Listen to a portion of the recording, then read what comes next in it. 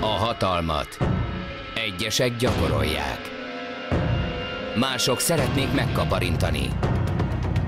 Néhányan ellenszegülnek neki. A legtöbben viszont kénytelenek meghajolni előtte.